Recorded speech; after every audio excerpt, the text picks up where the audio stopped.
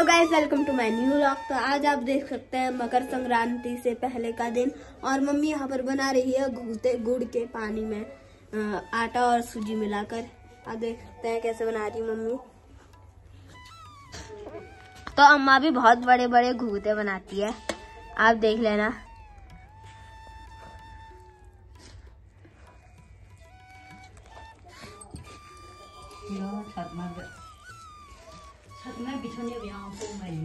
Guys देख सकते हैं मम्मी ने आट, आटा गूंद लिया और अम्मा यहाँ पर घुघुत भी बनाने लग गई है देख सकते हैं।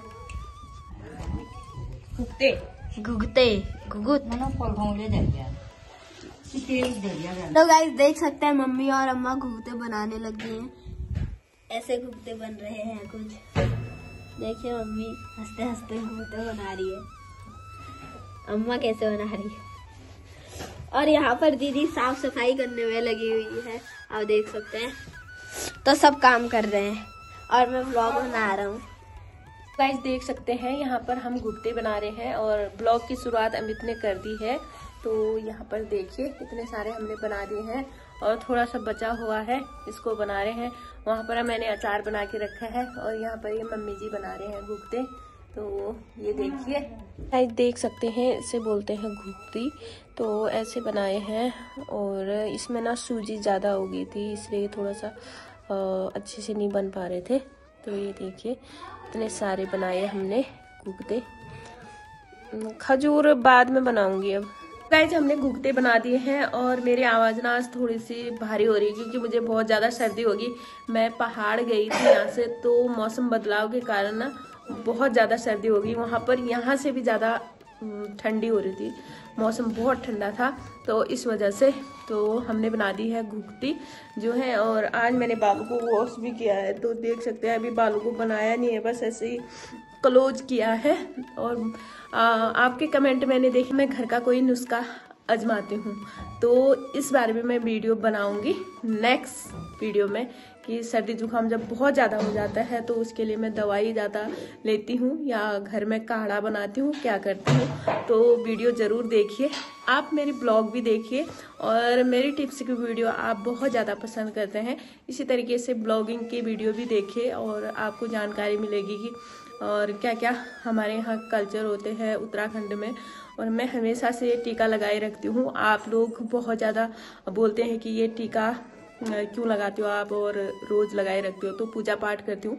हमारे उत्तराखंड में ना जो सुहागिन औरतें होती हैं माना जाता है कि वो नाक के यहाँ से ही टीका लगाते हैं और कभी कभी सीधे ऐसे भी टीका लगा सकते हैं, लेकिन मैं ऐसे ही लगाती हूँ क्योंकि जो हमारा कल्चर है, मैं उसे ही अपनाती हूँ।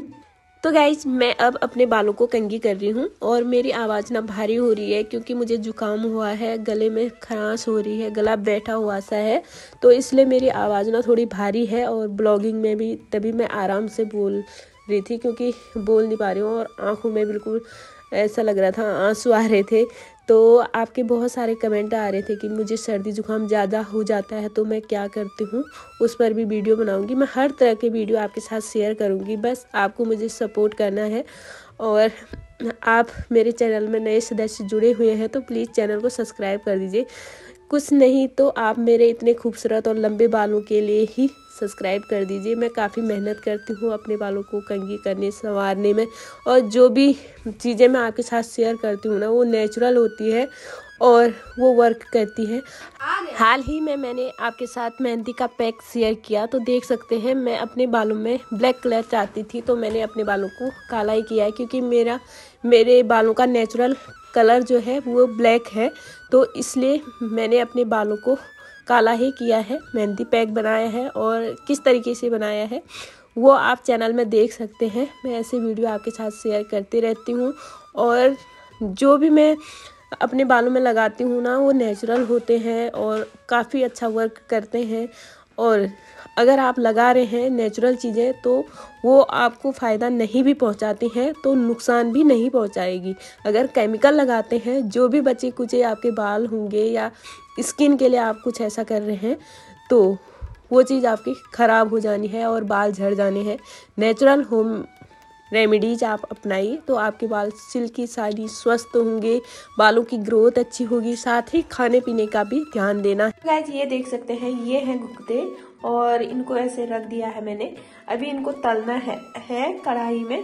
तो इनको पकाना है। आप इनको और भी अच्छी तरीके से बना सकते हैं। मतलब जिनके वहाँ बनाए जाते हैं। और हमारे उत्तराखंड में तो ऐसे ही बनाते हैं। तो ये बनाने के बाद आप इसमें ड्राई फ्रूट डाल सकते हैं और भी टेस्टी बना सकते हैं। मैंने इसमें सौंफ डाला।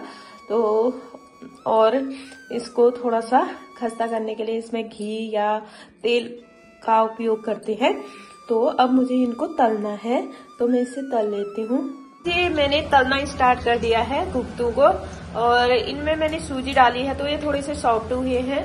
तो इस तरीके से मैं रिफाइंड में इनको तल रही हूँ। वैसे मैं सरसों का तेल यूज़ करती हूँ खाने में भी, और आजकल लगा, बालों में लगाने के लिए भी सरसों का तेल ही यूज़ करती हूँ।